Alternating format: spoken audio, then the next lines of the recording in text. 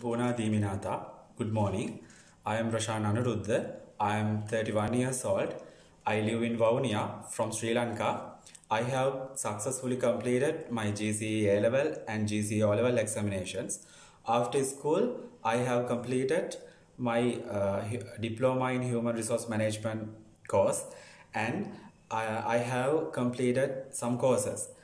Uh, I have successfully completed pastry and bakery advanced course in Vice Way Hotel Management School.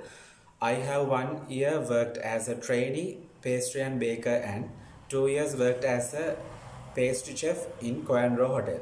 I have three years working experience in Shan Cake as a cake maker and decorator. Presently, I am working in my own shop as a uh, cake maker and cake designer. I think this is a great opportunity to develop my career like Romania in Europe country.